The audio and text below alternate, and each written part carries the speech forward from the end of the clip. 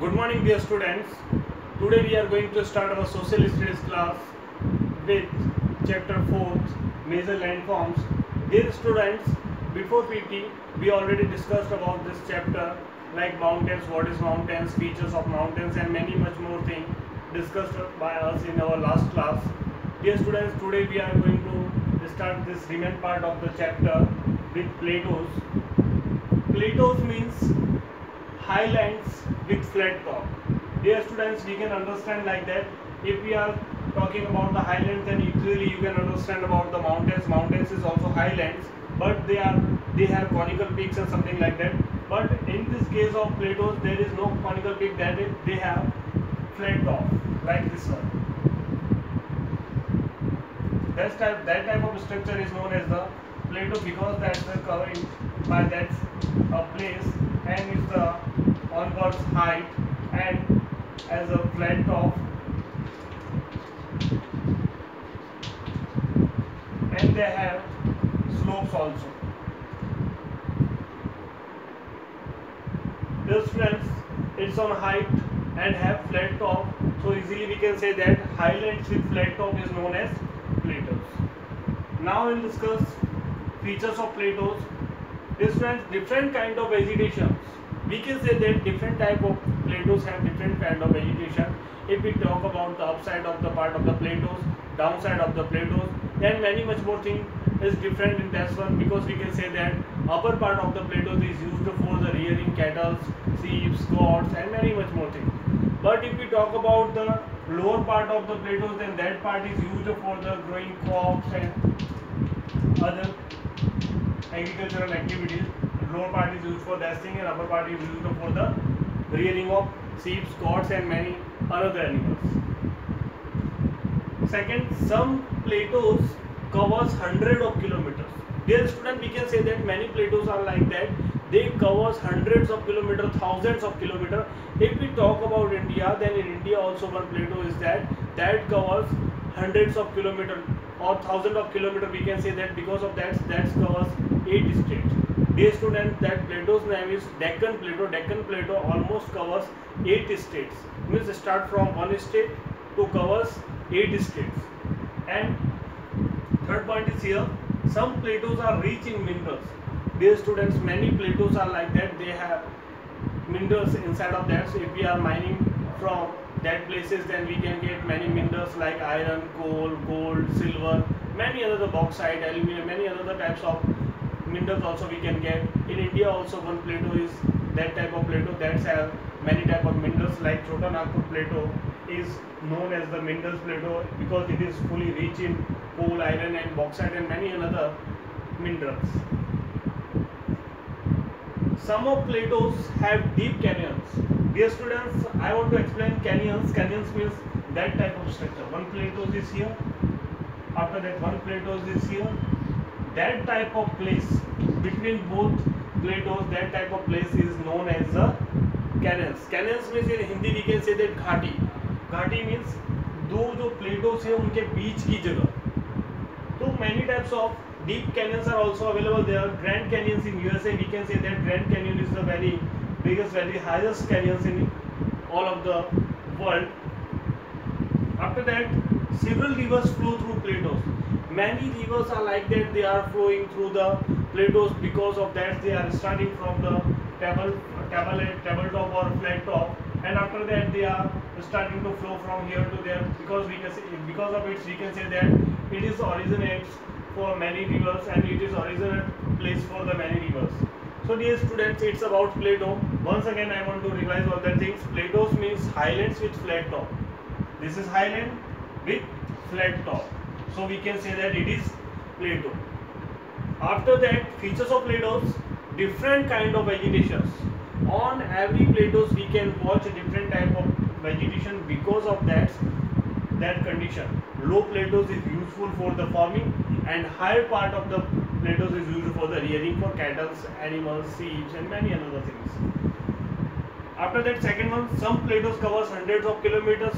We can remind that Deccan Plateau covers 8 states of India.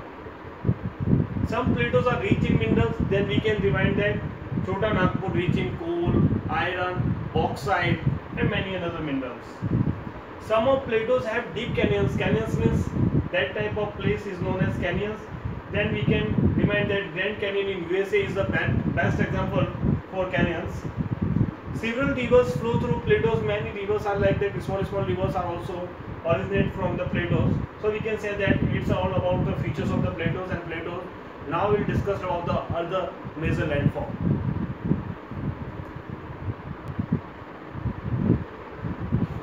Dear students, now we'll discuss about the plains. What is plains or something like that. Plains means are low and flat lands that extends over thousands of kilometers. Like that, we can say that plains are like that type of place. Flat. Like on that place we are living that is also on flat. Because of that that flat lands is known as plains and that extends to thousands of kilometers or lakh to kilometers also it covers that area. Northern plains in india have formed by river ganga. Many rivers made the plains very useful very fertile because of that. When river is flowing very fastly then on that time they they covered many type of minerals, silts, sands, clay and many type of other particles also they are involving in that water. So because of that plains are too much useful, too much fertile and because of the flat surface on uh, continuously thousands of kilometers, lakhs of kilometers, we can use it for the human settlement or transportation or any factories or any industries or many multiple type of uses of that place we can do it in our life. Features of plants, what is the main features of plants we can discuss about that. Most of plants are formed by silt and they are very fertile. This student I already told here because of that when rivers flow in that area then plants are formed by silt because of that when water is flowing in the river then they cover or content silt also with them because of that they are very fertile and fertile land is used for the agriculture purpose or agriculture cropping or many another uses of also that type of places we can take. And mostly on that area they are using for agriculture in process like cultivation or something like that. Second plains are thickly populated. If we are going to compare mountains or plateaus then we can say that plains are thickly populated because mostly many people are living on that uh, plains because they don't have any type of problems in that area.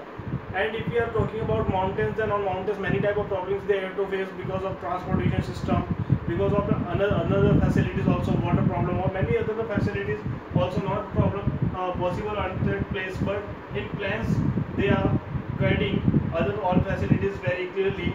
So it is a thickly populated many towns and cities are located in the plains. Dear student, we also watch that. Because of that, many cities, many towns, many villages are uh, populated on the flat land or uh, plains. So, fourth one, in the earlier periods, many civilization developed on the river banks. If we talk about Sindhu, Sindhu Ghati uh, civilization or Mohenjo-daro civilization, all that type of civilizations also developed on the river banks. Because of that on that time people don't know any type of the economical activities. So they are using for agricultural activities and for agricultural activities they want water. And for that purpose they are start to live on the river banks area. So we can say that plain is the most uh, popular landforms in the on the earth. And mostly uh, we can say that 90% or more than 90% people are living on the that type of places good transport facilities because of that. Plains are in flat surface so transportation system is also good here. Availability of water availability of water is also good because if you are living on the mountainous place on the highest top then not possible to supply water outside of that. We have to facing many type of problems for supply water outside of that thing. And rich fertile soil. And on the plains whenever the river water is coming from the mountainous areas. So with the river water many salt uh, silt many minerals is also with them. So because of that that land is fertile land and so we can use it as a, for the agriculture purpose or cultivating. After that best for human settlements. Many human activities also we can do on plains easily. We don't have too many facing many problems or something like that. So we can say that the most popular major landform is plains now we will discuss about the other major landform.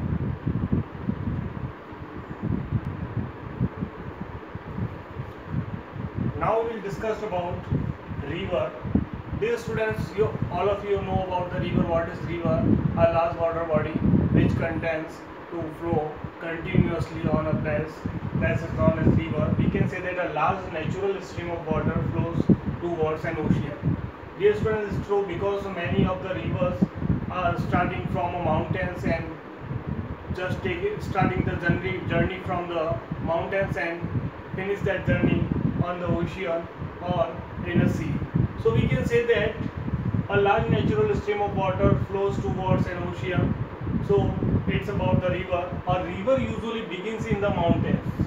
Mostly 99% rivers starting or begins from the mountains and ends its journey in the sea or an ocean during this journey during which journey this journey from the mountains to ocean or sea it passes through three different stages we can say that uh, any river have a three different stages. Three stages are there. First one is youthful stage, second one is mature stage, and third one is old stage. We will discuss one by one about that stages. First, we will talk about youthful stage. As you know that youthful stage means too much active stage. On that time, the river flowing very fastly from the high place to downwards, like waterfalls, uh, V-shaped valleys, and canals. I already discussed about the waterfalls. Waterfalls means water is falling from the uh, mountain that is known as waterfalls. V-shaped valleys when water is falling from mountains to downside then many time V-shaped valleys also be converted and between those, uh, those, that place the water is flowing that is known as V-shaped valleys places and canyons is already discussed uh, in the next uh, last topic in plateaus because of that it's known as the Ghati also in Hindi so we can say that in youthful stage, water is flowing too much fastly from mountains to downside. So this stage is known as youthful stage. Second one is mature stage. Mature stage means in the this stage river start to enter in plains. And as you know, when river start to enters in plains, then its speed is going to be decrease a little. Because of that, on that time they have a flat surface and they couldn't uh, flow fastly. And when the river is start to entering plains, then many type of fertile uh, fertile minerals or many type of silts, many things involving in its water is going to deposit in the plants and because of that the plants is making fertile and because of being fertile plants it is useful for, useful for the agriculture practices like cultivating or another.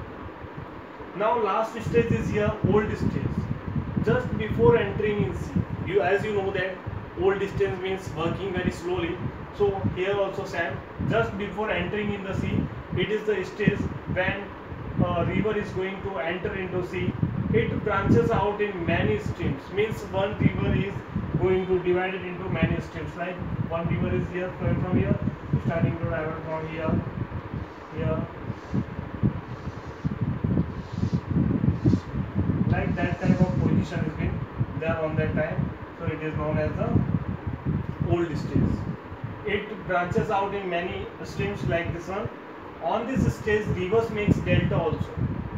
On this stage, rivers make delta also. Delta means that type of place whichever deposited with silt or which were deposited by the mud or something like that. That type of place is known as delta. And if anyone asks you about the delta, when river meet delta in which stage, then you can easily say that in the old stage, all rivers meet delta. The Sundarban delta is in India is formed by river Ganga.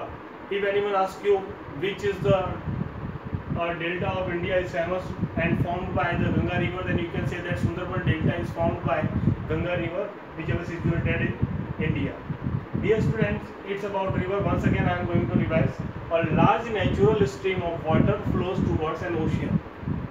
means a large natural stream whichever flows through the ocean or sea that's known as rivers. A river usually begins in the mountains. Like this mountain is here. When running it's running then water is coming from here to downside here to downside here to downside. Then a large water body is going to flow that and convert into river so a river usually begins with the mountains and ends its journey in the sea finally it's went to where sea means journey from mountains to sea during this journey it passes through three different distances. We, I already discussed about that. Youthful stage, natural stage, and old stage. Youthful stage means water is for, uh, flowing very fastly like water, uh, waterfalls, V-shaped valleys, and canals. Mature stage, rivers start to enter in plains with uh, silts and many minerals. So because of that, the in this stage the plains are too much fertile. And old stage just before entering the sea that type of stage is known as old stage and on that time river is going to divide it into many small small streams and start to making deltas. As you know the Sundarban delta of India is formed by Ganga river. Dear students now we will discuss about last topic uh, deserts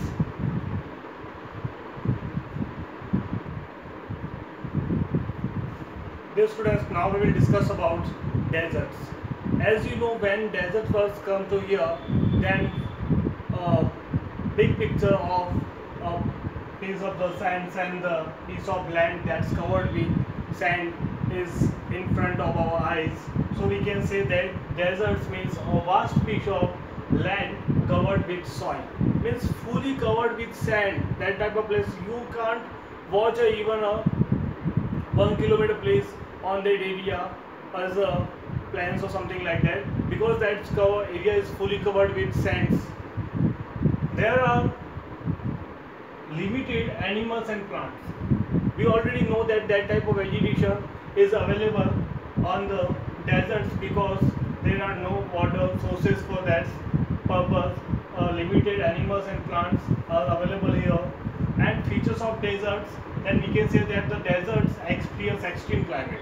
Extreme climate means we can say that days are too much hot and nights are too much cold. That type of climate is known as extreme climate. If anyone asks you about the deserts climate then easily you can say that the deserts have experienced the extreme climate means the day are too much hotter and nights are too much colder. Second the deserts are extremely dry. We can say that water uh, water problem is a too much scarcity of water and many type of that availability of water is the biggest problem on that piece of land or major landform. We can say that deserts are extremely dry even you can watch a source of water uh, 20 kilometer far or something like that. Because of that in desert area if you visit then you can watch that many women are going to fetching water for far a place. And after they are start to uh, take to uh, fetch water because of that they are using very cunningly that type of sources sandstorms are common in the deserts we can say that because of too much sand sandstorms are common in the desert. Many type of sandstorms are camped there. We can say that because of sandstorms many sand dunes shifted from one place to another. If you are watching one sand dunes is here after that in the next morning if you are watching that sand dunes is disappear from that place and shifted to another place. Because of sandstorm all that type of conditions is happen so we can say that sandstorms are common in the deserts. Desert plants include cacti and date palms. We can say that uh, we if we talk about the vegetation or a plants formation in the desert area then we can say that mostly the plants of the deserts leaves convert into spines. And because of water losses they are converting into a special habitat. So we can say that that type of plants are available like cacti and date palm oases are water pools that spring up to the some places in the desert.